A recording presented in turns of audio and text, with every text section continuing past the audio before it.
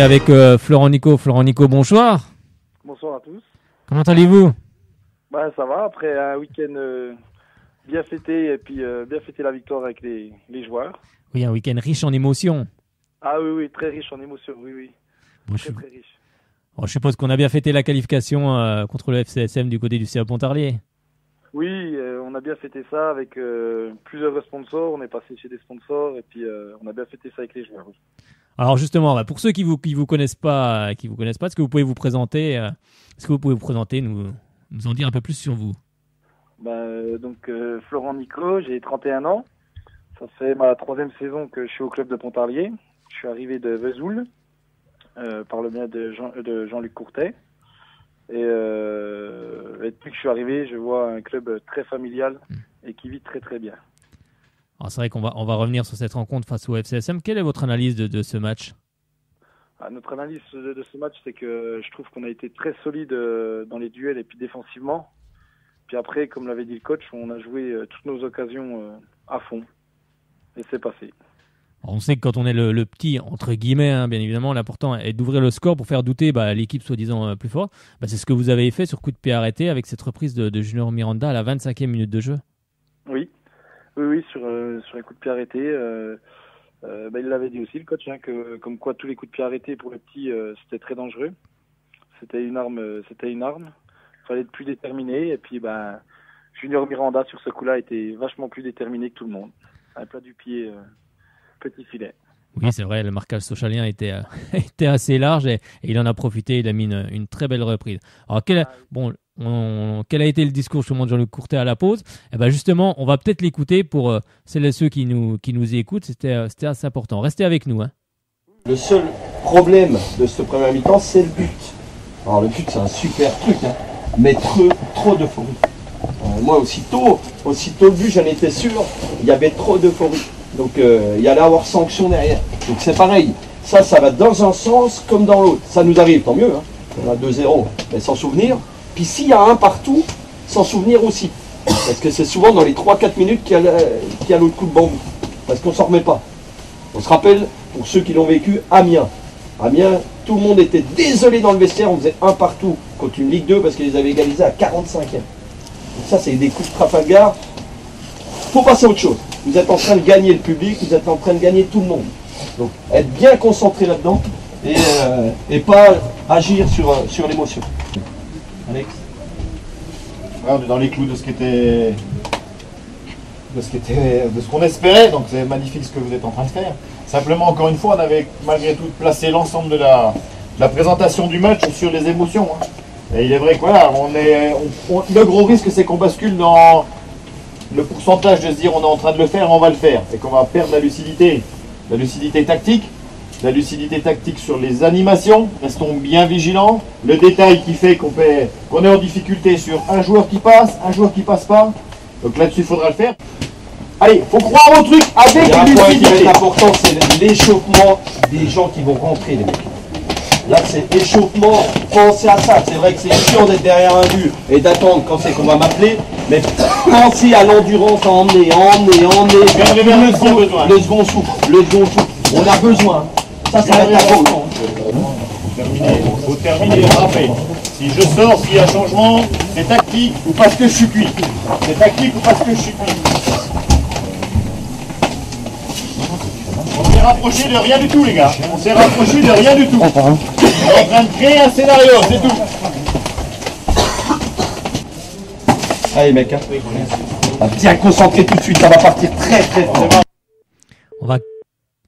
Ah, on a perdu euh, Florent Nico. Alors, on va demander à Frédéric Fitch de nous refaire le numéro. On va le rappeler tout de suite. Oui, ça a peut-être coupé avec le, peut-être avec la bande son, je ne sais pas. En tout cas, oui, ben on va créer un, un scénario. C'est euh, c'est ce qu'a rappelé euh, Jean-Luc euh, Jean-Luc Courtet et euh, Alex Demougeot, hein, qui est son, son adjoint. Il faut aussi le, souligner. C'est lui qu'on entend aussi. On entend Jean-Luc Courtet au début, mais Alex Demougeot par la suite. Eh ben justement, on va on va essayer de rejoindre Florent Nico, qui va justement nous nous parler, bah, nous parler justement du, discours pour qui a permis aussi aux joueurs bah, de rester toujours dans ce match, hein, parce qu'on sait qu'à qu'à 1-0, eh bah, tout, voilà, c'est pas fini encore. L'équipe, l'équipe adverse peut revenir. Alors, on a retrouvé Florent Nico. Vous êtes, vous êtes de retour?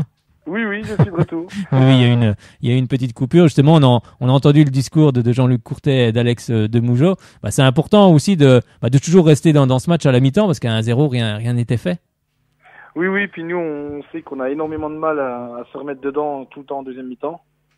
Après, il faut avouer qu'on a joué quand même, euh, c'était Sochaux, une équipe de Ligue 2. Oui. Donc c'est sûr qu'une fois qu'on a ouvert le score, qu'on a enfin, ça leur a piqué un peu dans leur fierté aussi.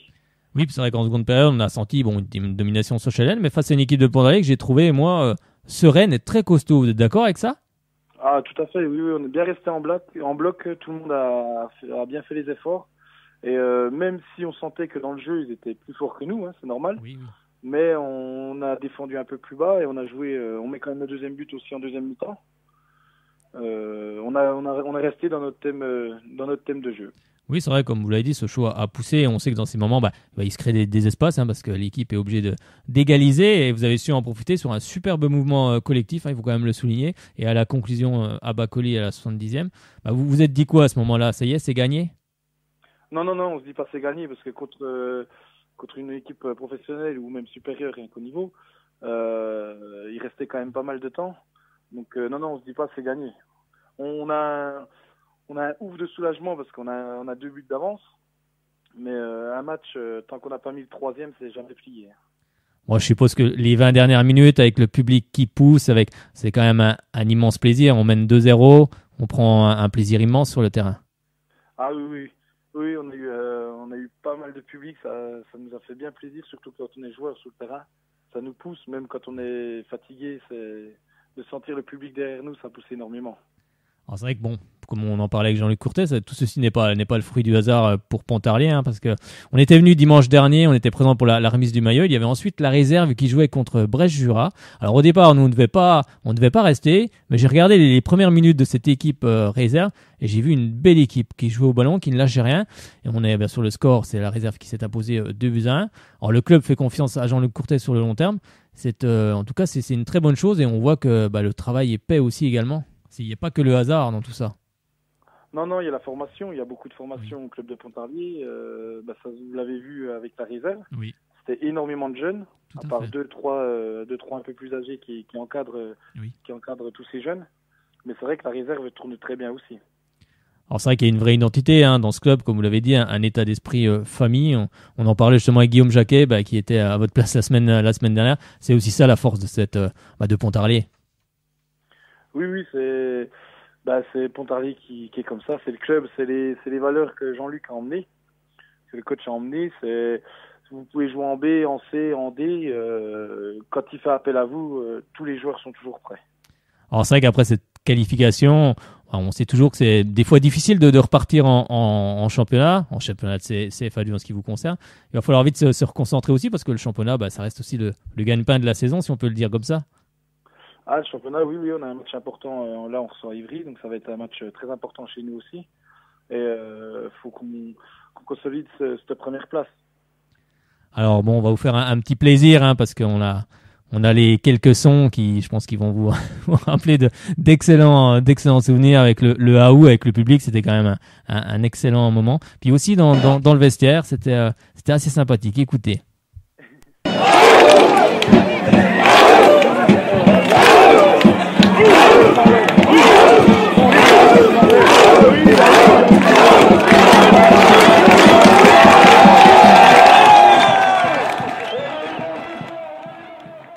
Bon, c'est sympathique ce, ce AOU. Hein. C'était quelque chose avec le public, la communion.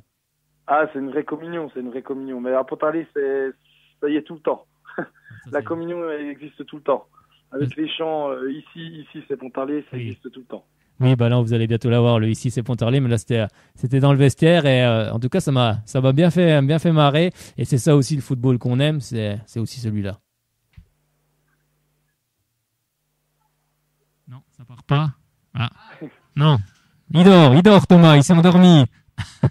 Allez, je le relance. Allez, c'est parti.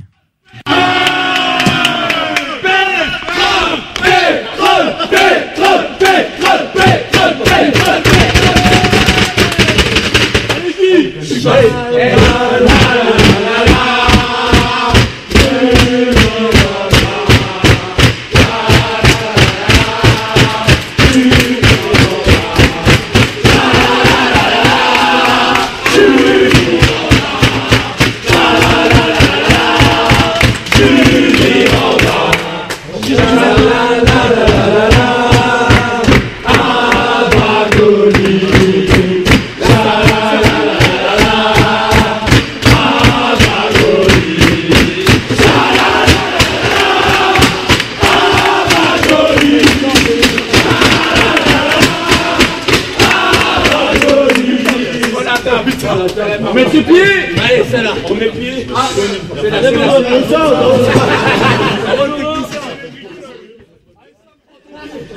la Tranquille, les gars.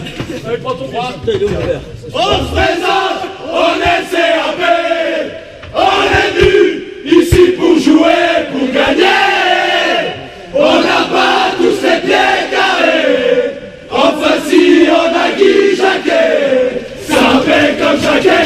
Ça fait comme Jacquet, Jacquet, ça fait comme Jacquet. On est l'humour de fêtard, un pipon et coup du foulard. Et ce soir, on finira tous au bar. Chez, chez, chez, chez Richard, chez, chez, chez, chez Richard, et partout dans Pontus, je veux qu'on parle de nous. Alors, ça s'est bien passé chez Richard? Ah, ça s'est très bien passé. Ah oui, oui. Oui, oui, ça s'est très très bien passé. même. Bon, en tout cas, c'était une, très bonne ambiance, c'était très sympa. Moi, ça m'a bien fait rire, ça me fait encore rire, mais c'était en tout cas un, un excellent moment. Je pense que ça a dû être aussi le cas pour vous. Quoi. Ah, on a notre petit cri de guerre à nous qui a été créé par euh, des joueurs euh, au retour d'un déplacement. Bon, bah c'est bon, vous allez pouvoir faire bientôt les. les commencer la Starac, non Peut-être? Non, les, les chants, je suis pas trop au courant, mais en tout cas, il y a des- il y, a des bons chanteurs. Faudra leur demander à eux, là. J'y suis pour rien. Ça marche, pas de souci. Bon, le- on sait que le tirage, c'est ce, ce mardi. Est-ce que vous avez un, un, un souhait, tirer bah, encore un gros, ou alors euh, peut-être plus petit pour aller espérer d'aller encore plus loin? Le, le Ou seul- taper un gros puis aller plus loin? Le seul souhait qu'on a à peu près tous, c'est de recevoir à la maison. Oui, c'est vrai que c'est important le, soutien. soit- Que ce soit un gros ou un petit, au moins c'est chez nous. Voilà, vous l'avez vu avec enfin, la communion avec le public, vous l'avez Oui. dit. Donc le principal, c'est déjà de recevoir. Eh ben, en tout cas, on espère que ça, bah, ce vœu sera, sera exaucé. On regardera ça euh, ce mardi à partir de 17h30. En tout cas, euh, merci beaucoup d'être intervenu euh, à l'antenne. Euh, bah, on vous souhaite une, une bonne saison, un bon tirage et, euh, et en tout cas, on sera nous encore présents si ça, sera, si ça se passe au stade Paul Rob. Eh ben, merci à vous. J'avais juste un petit défi de certains joueurs. Ah. Donc il faudrait que je fasse un bisou donc à Colette et à Pascal. Eh ben, c'est fait. Voilà. Les joueurs doivent m'écouter. Voilà. Ouais, bah, c'est parfait. parfait. eh ben, merci bien et puis, euh, puis à bientôt. À Eh bientôt. ben, merci à vous. Merci, au revoir. Bonne soirée.